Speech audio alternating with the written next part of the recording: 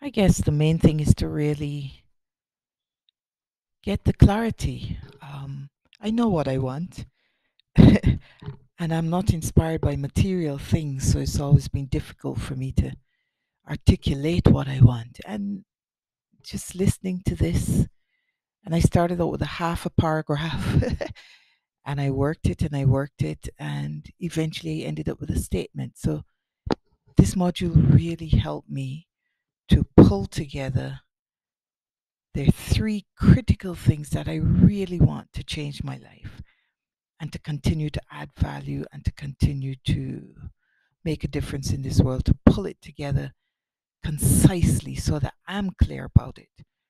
And what that means is I can move forward knowing what I want and having, you know, questioning myself and asking myself, are the actions that I'm taking in line with what I want? So this was really useful. And yeah, I'm excited.